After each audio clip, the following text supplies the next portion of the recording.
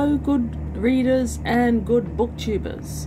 This is the view from my window on the dive boat Ocean Quest travelling out of Cairns and that is my excuse and a very good one I believe for why I've been a bit behind on my reviews so far.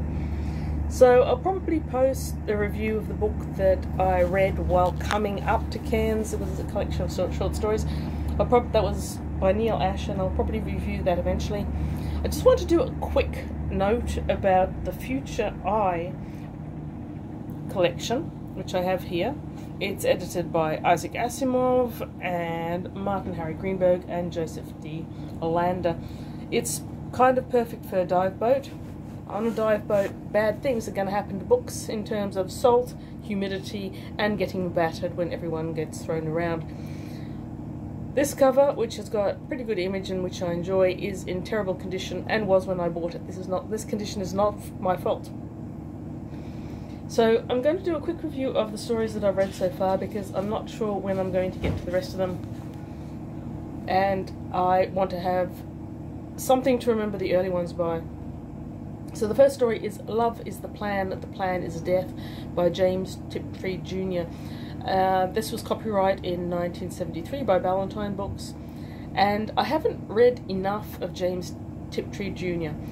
They're hard to get a hold of. Uh, I do like the writing when I get to it and this particular story I liked a great deal. It's a weird story.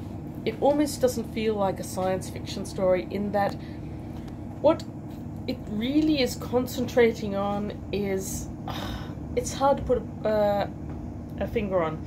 So you've obviously got this alien species that has got a reproductive cycle that is very different to anything that we see on Earth.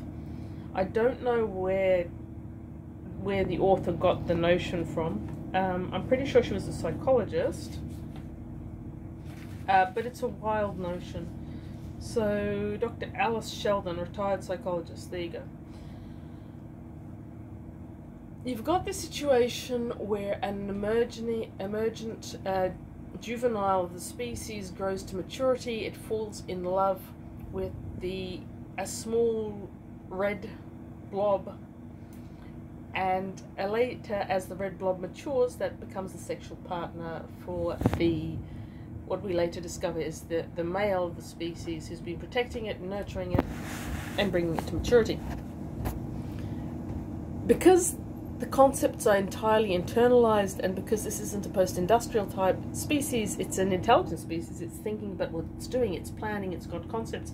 It certainly understands emotional attraction of, of the love kind, but the way it's written is kind of wild.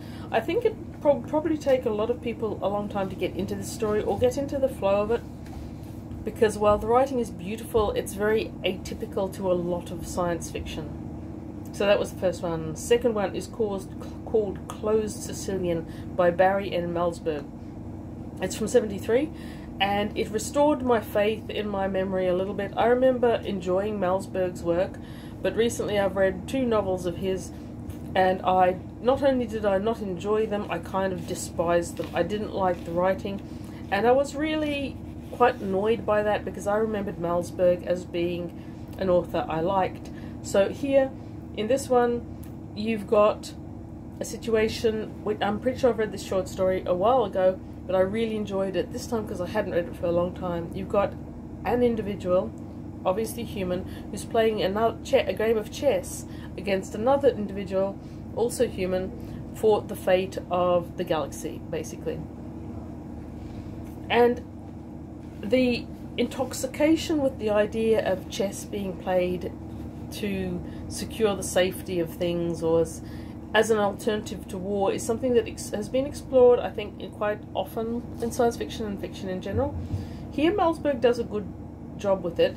Each section has got something like 1.p-k4. I assume that means something to people who play chess. I don't play chess.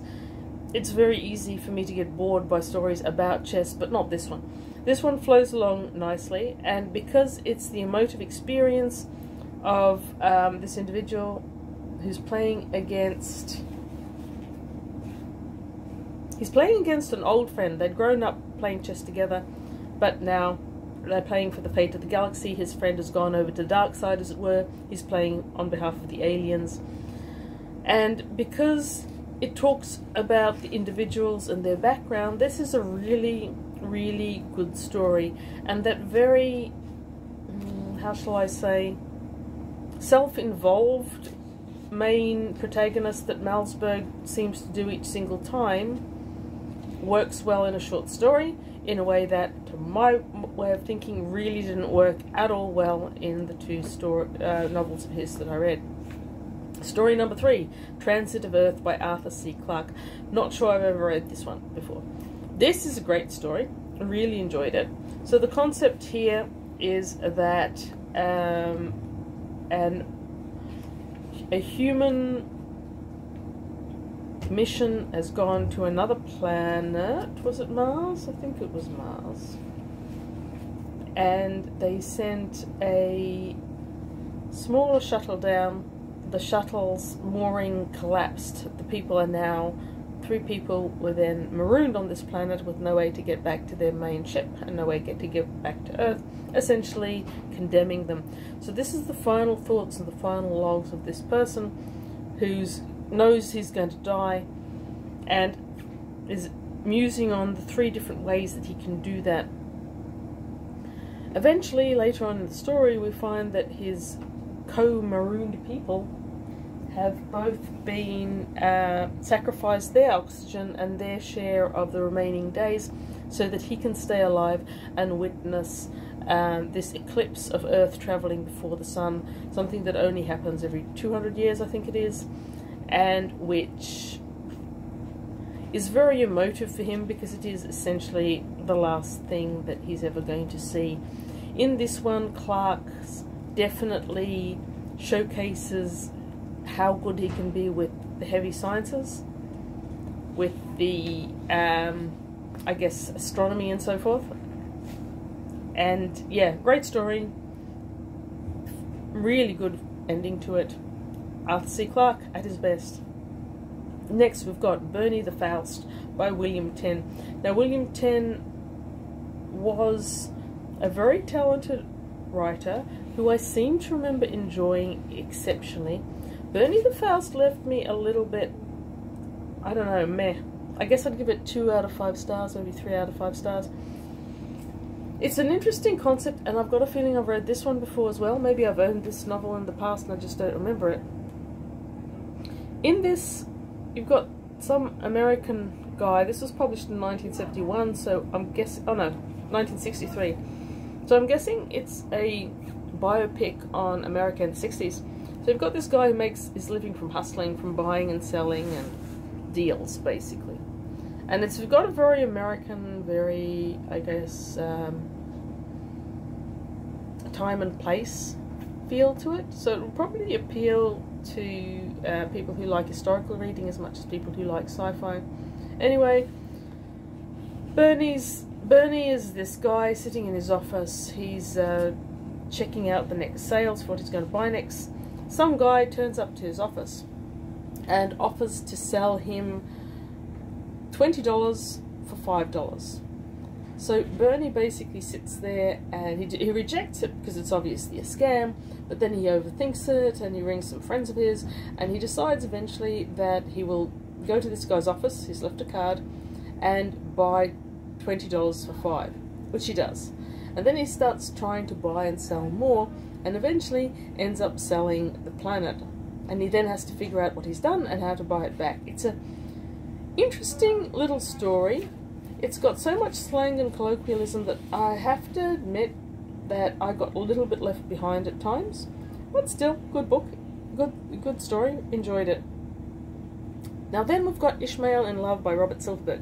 And that really, really good time and place. A 1970 story about a dolphin, an intelligent dolphin. One isn't sure if they've been extra adapted or what, but intelligent. He's fallen in love with a human woman, and this is basically his story.